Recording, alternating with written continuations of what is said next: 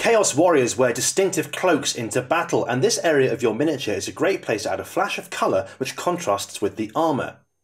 In this video we're going to show you 5 different ways to paint the cloaks of your Chaos Warriors, using the colour schemes seen in the Slaves to Darkness battle tome. We'll be covering the colours of Chaos Undivided Warriors, Warriors of Khorne, Tzeentch, Nurgle and Slaanesh. So grab your paintbrushes and let's get started. Now, to prepare our models for painting, we've already undercoated them here with Mechanicus standard grey spray. We've used that because it's a nice neutral tone for painting cloaks, but the techniques we're about to show you will work over any undercoat you've used. Now the first cloak we're going to show you is the distinctive red cloak seen on the front cover of the Chaos Warrior boxes, that of the Chaos Undivided Warriors. And first of all we're going to be starting off with a base coat of Khorne Red, which we're going to apply using our medium base brush. So let's get straight to it. Now as always with a base coat we're going to take a little bit of paint out of the pot like so, add it to our palette, and we're going to thin it down with just a touch of water like so. Perfect. We're doing this really to help the paint go onto the model a little easier and to make it a bit smoother. There we go. Then onto our Chaos Warrior, which is going to apply Khorne Red all over the back of the cloak. Now you might find you need a couple of coats to get a really nice solid colour on the backs of these cloaks, but don't worry, that's absolutely normal. Be as neat as you can, try not to hit the fur, but don't worry if you do, you can always go back later and correct it. And once that's dry, we'll move on to the next stage. And there we have a nice solid base coat of Khorne Red on the cloak.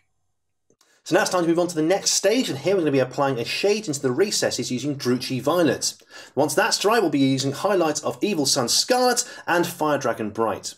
We'll be using Lahmian Medium to thin down all of the paints we're using here. So first of all, it's time for that shade with Druchii Violet, and for this we're using our medium layer brush. So first of all, let's take a little bit of paint out of the pot like so and onto the palette. Perfect. Then, we're going to wash our brush off, make sure we're not contaminating our medium. Then, take a little bit of medium out of the pot like so, put it there, about three parts for every part wash we used here. Perfect, there we go. That's about right. Then, onto our miniature, we're just going to apply it very carefully into the recesses of our cloak. So you can see the deeper folds that go down here.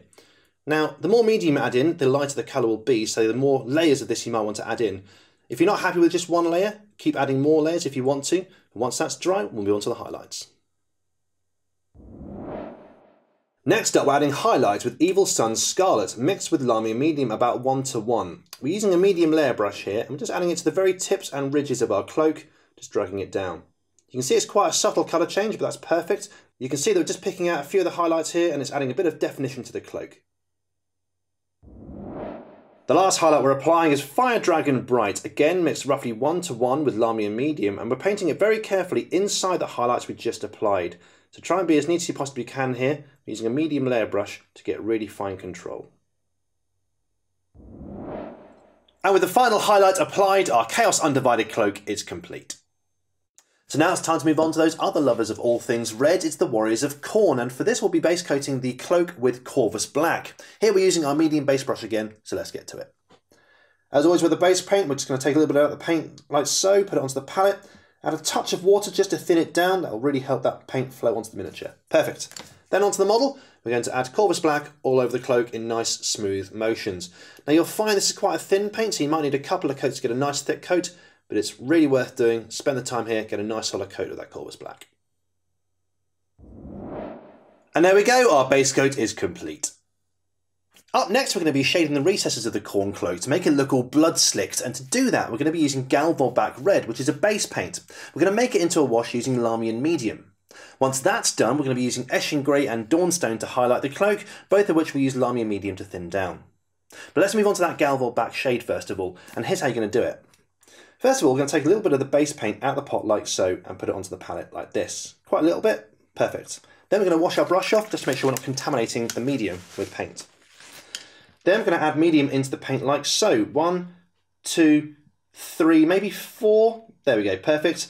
Then we're going to mix them together like so. And now we've got a Gal Vorbak wash. What we're going to do is we're going to add this into the recesses of our miniature like so. Very carefully, just painting it into the folds of the cloak like this, the recesses of the cloak. A nice thin coat, it's quite a strong paint this. So a nice thin coat in the recesses like this, just to give a real hint of red for your Khorne warriors. Next up, we're using a medium layer brush to apply highlights to the edges and ridges of the cloak with Eshin Grey. Here we've mixed it with Lahmian Medium, about one to one mix, to make it a bit more subtle when it's applied. And the last highlight is Dawnstone, again thin with a touch of Lahmian Medium, just applied to the very edges of the cloak, like so. And with the final highlight done, the blood-slicked cloak of the Warrior of Khorne is complete. So up next, let's have a look at the cloaks of the magical warriors of Tzeentch with that special purple colour. I'm going to start off with Screamer Pink all over the cloak, which we're going to apply with a medium base brush. So let's get to it. So here we go. I'm going to take a little bit of the Screamer Pink out of the pot like so and put it onto the palette like this. Again, we're going to thin it with just a touch of water, but not too much. Perfect.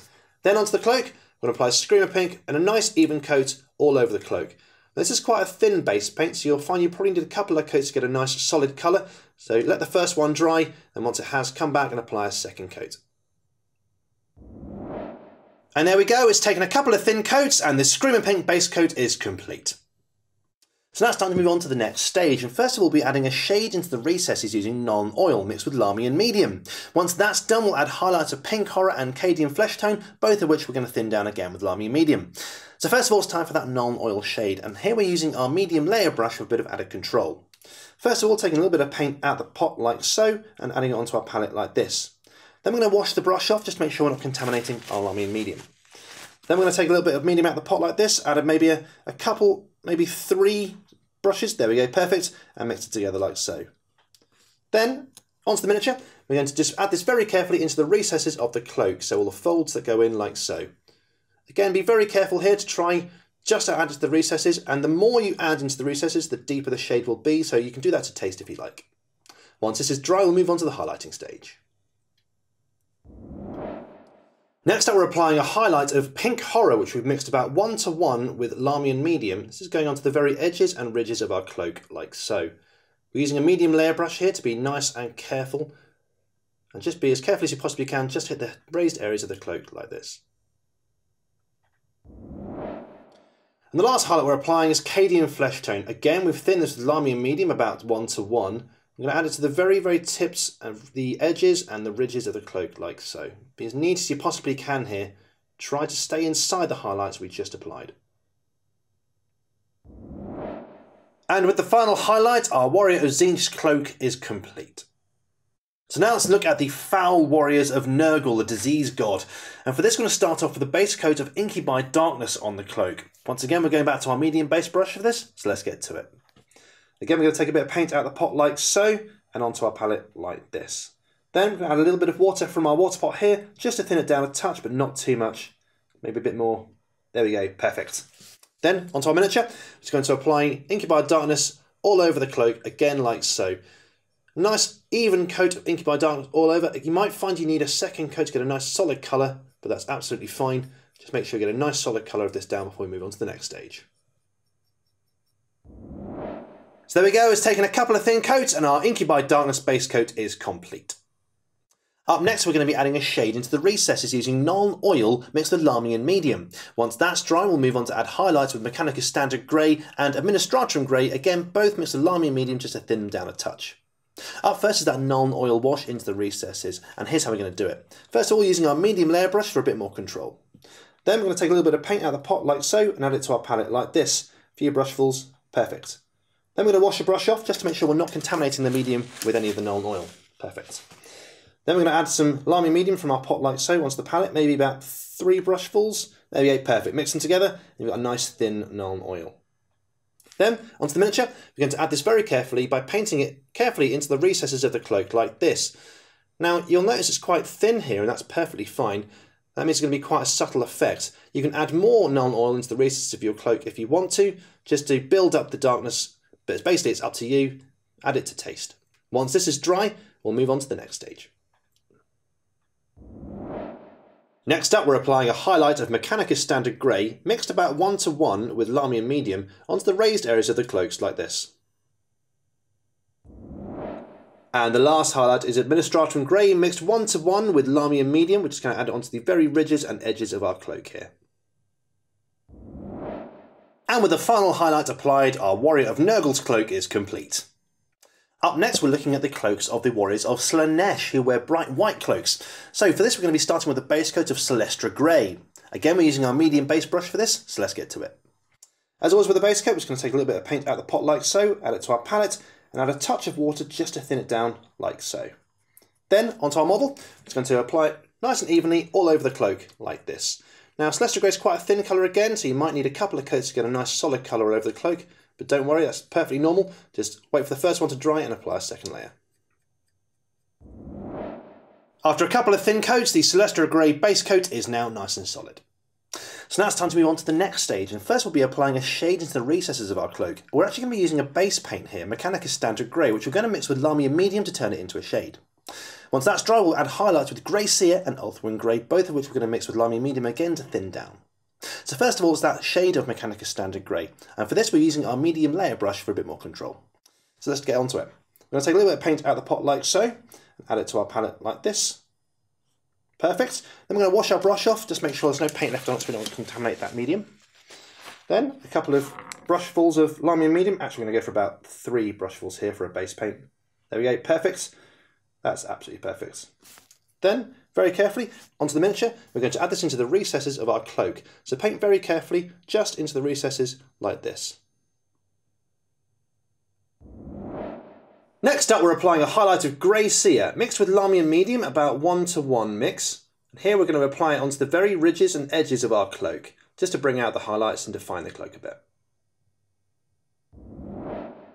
And the last highlight is Ulthuan Grey, mixed one to one with Lahmian Medium. I'm going to very carefully apply it onto the very, very tips of the ridges and the edges of the cloak. Be as neat as you can here, that's why we're using a medium layer brush. You want to be painting inside the highlights you've already painted. And there we go, with the final highlight applied, our Chaos Warrior of Slaanesh's cloak is complete. And that is five different ways to paint the cloaks on your Chaos Warriors. Of course, these techniques can be used across lots of different models. If your model has a cloak or a tabard or a loincloth, these techniques will work really well. Something to remember here, when you're applying your base coat, it's really worth spending the extra time to add an extra layer to get a really solid colour first. Hope you've enjoyed the video. Happy painting.